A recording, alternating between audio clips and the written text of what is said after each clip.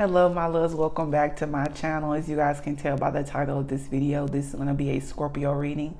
This is a general timeless reading, so whenever you find this is meant for you. Also, this is for any Scorpio placement, so sun, moon, rising, Venus, North Node, Lilith, you name it, okay? Or you could just be curious. There's nothing wrong with that. I am going to meditate with you guys to help us release any negative energy and allow us to be open to receive any of the messages in this reading. But before we get started, I want to invite you guys to set an intention for this reading, whatever your heart desires to know. I'm going to set one by pulling a positive affirmation card. The one I got for you today is I embrace positive thought. One more time, I embrace positive thought, okay? So, are you doing a little bit of overthinking, Scorpio, okay? Okay, um, you could have a lot of air in your chart, okay? Uh, there's a lot of planets in Aquarius, okay? So, Maybe you have Aquarius in your chart, or maybe you're feeling that energy very intensely, okay? Um, Aquarians can be overthinkers just by nature, okay? And in our shadow self, we can be a very negative thinker. Okay, I'm just being honest with you, and I say that with love because I have a lot of. Um, I am a Sun Aquarius. Okay, um, but anyways, if you're comfortable, feel free to breathe in and out with me, Scorpio. Okay.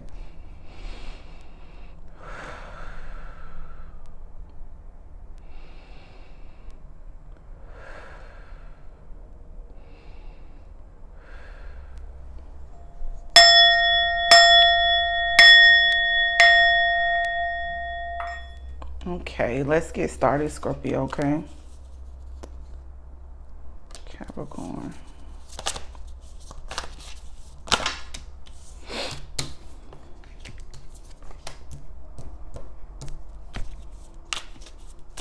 So for your general reading, uh, Scorpio, I'm sorry for the silence there. I got caught up in the cards.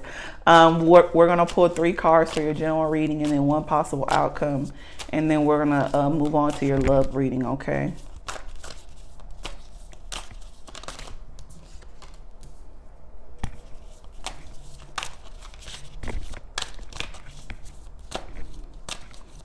One outcome, please, for Scorpio.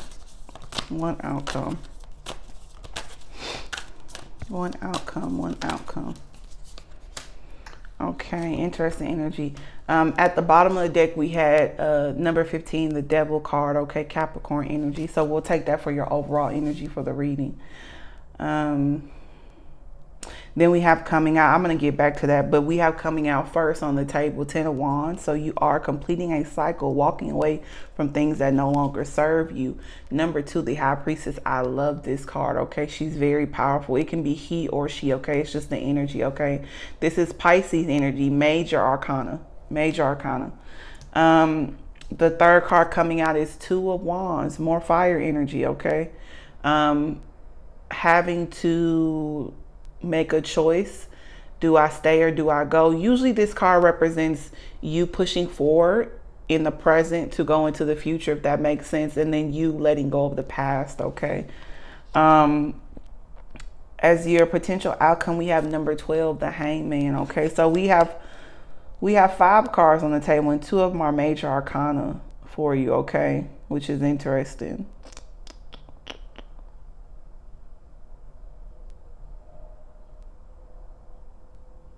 At the bottom of the deck, we do have Three of Pentacles, so you do want to work together with someone, okay?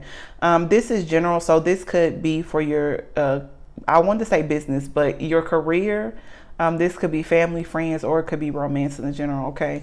Knight of Swords, you want to run towards someone, okay?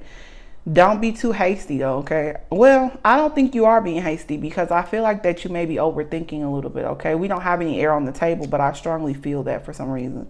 Seven of Swords, okay? There's something hidden, something, someone has been very, I want to say sneaky, okay? And I'm not sure who that is, Scorpio, okay? But somebody has not been telling the truth. Hell, it could have been you lying to yourself about someone or or environment, okay, or situation. But it seems like you want to work towards somebody, you want to move towards them, okay? You no longer want to hide the truth anymore. Or that could be how the other person is feeling about you, okay? We also have the Queen of Swords, okay? So this usually represents Aquarius to me, but act, but in actuality, it means a Virgo or Libra energy. Okay, but to me, this always represents Aquarius for some reason intuitively. Um, so somebody could have an Aquarius in their environment or have that in their chart that's watching this. Queen of Cups, you want to lead with your heart and intuition. The Queen of the Queen of Cups, Scorpio, is very similar to me to the High Priestess, okay? But she's in the minor arcana. So definitely with the high priestess coming out in your main spread, you definitely want to follow your heart and follow your intuition. I feel like you've been spending a lot of time in prayer and meditation, okay? Calming your mind because you learn to embrace positive thoughts, okay? Which is beautiful energy to be in Scorpio.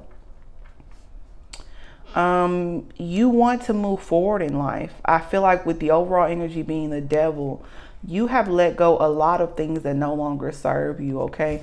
And you've done a lot of shadow work because I, I love the devil card. I know people see it in such a negative light when we think about the devil just in just in the world we live in scorpio. But i feel like that when we see the devil or darkness it usually shows us the things we need to work on and it will actually help lead us to the light okay? And that could be the light within ourselves or just to see the light in the world, okay?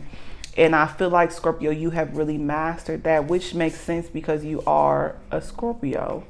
And I feel like that you guys, not even I feel like it, but your card in the in the deck is death and rebirth. That's the most powerful thing I ever seen, okay? So when we hear about death, we always think of a very dark time. But to think about death and rebirth and to know that anytime there's a death or an ending Scorpio, there is always a new beautiful beginning, okay? And I feel like you're you're you're understanding that, okay? Because it looks like the 10 of wands that she's literally walking to the high priestess, to the two of wands, and then for your outcome, the hangman, okay? And I say she just because the image is on the cards, but it's just feminine energy, okay? So don't get too caught up on the genders. Um, but anyways, your outcome, Scorpio, was number 12, the hangman, Pisces energy. And I think when I started the reading, I kept on wanting to call y'all Pisces for some reason, I, and I didn't know why. So maybe you have some Pisces in your chart, or maybe you're just in that energy, okay?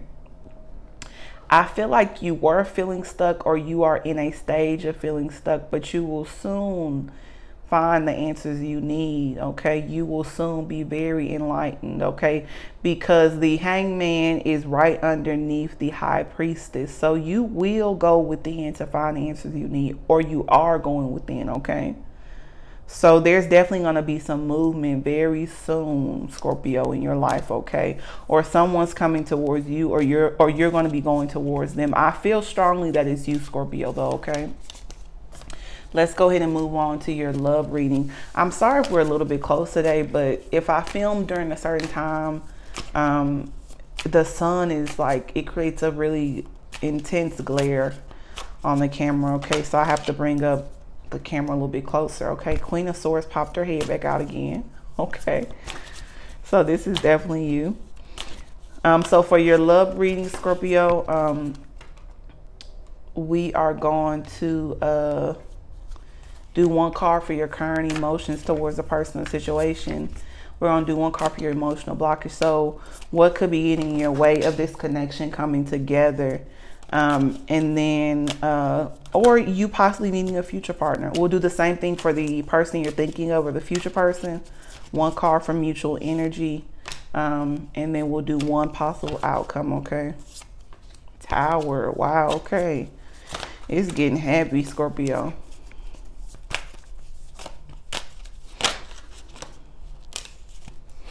Okay, more working together energy. Putting in the hard work. One potential outcome for Scorpio's love life. One potential outcome. Mm, I didn't expect that. Okay. Let me get this one card that fell on the floor, Scorpio. Sorry about that. Okay, so for your current energy um, or your feelings right now, Queen of Swords, okay? You holding your heart pretty tight, okay? And your cup pretty tight. You don't really want to give it to nobody right now you being very practical, very logical right now. Okay. And in that air energy that I talked about at the beginning of the video, I felt that for you, okay? Somebody have Aquarius heavily in HR or air. Aquarius, Gemini, or Libra, okay? Um, or you could be just you could be overwhelmed by all of the Aquarius energy going on right now. And if that's the case, Scorpio, you need to meditate, okay? To find balance within yourself. Speaking of balance and your emotional blockage, Two of Pentacles, okay? This could mean juggling. Uh, just because we, okay, it's two different scenarios, Scorpio. Because you have the Eight of Pentacles as a mutual energy for this connection. So you could be trying to juggle work your personal life or trying to juggle how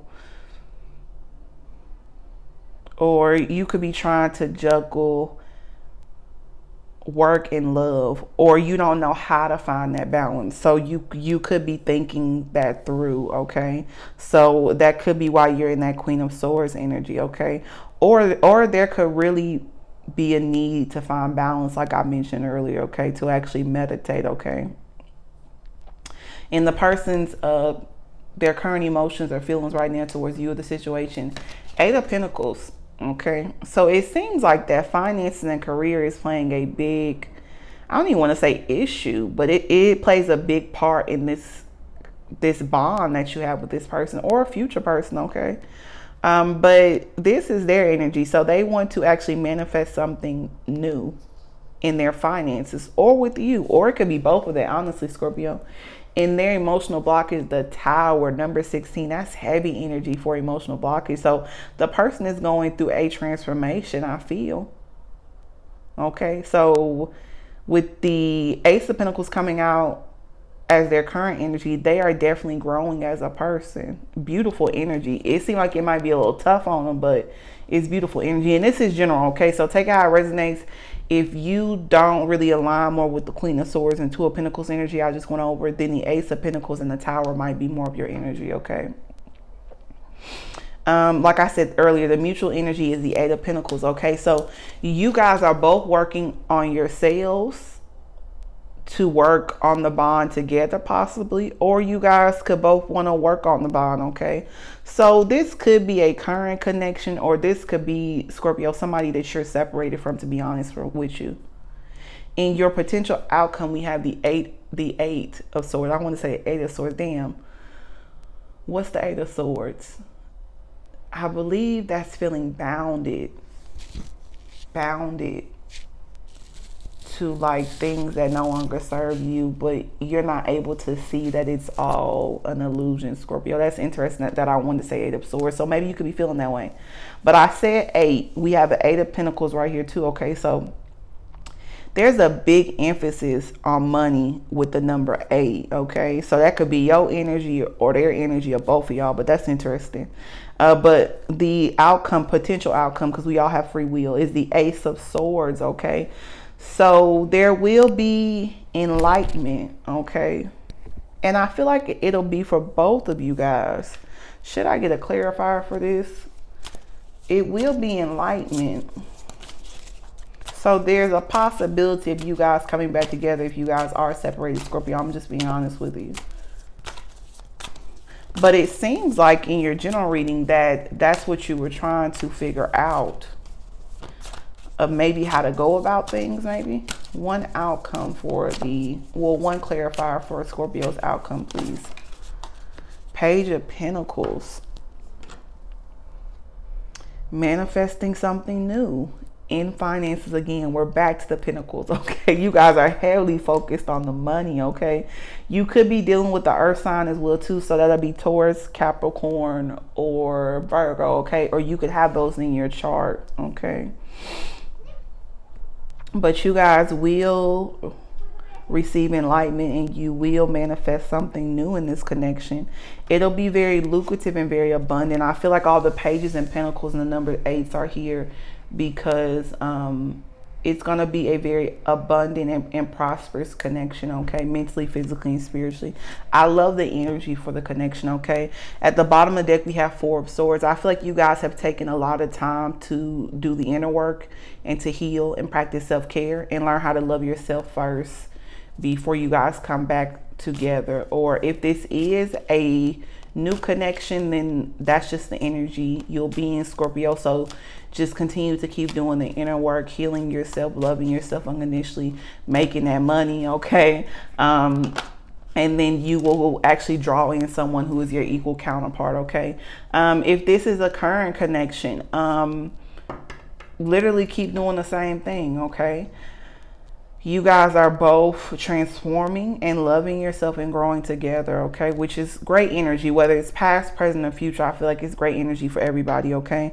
The lesson card that fell out is growth. I want to expand my consciousness and my awareness. Beautiful, okay? So with the Ace of Swords, I definitely feel like that that is about enlightenment okay? And you guys are both receiving that. Beautiful message scorpio. I'm very happy for you okay? If this message resonated with you please let me know in the comment section below. I love to read everyone's comments. It may take me a while to get back to everybody but i try to okay? Also i would truly appreciate if you guys like share and subscribe to my channel. And most importantly scorpio if you have not heard this today you are loved and you are cherished. Until next time my loves. Bye bye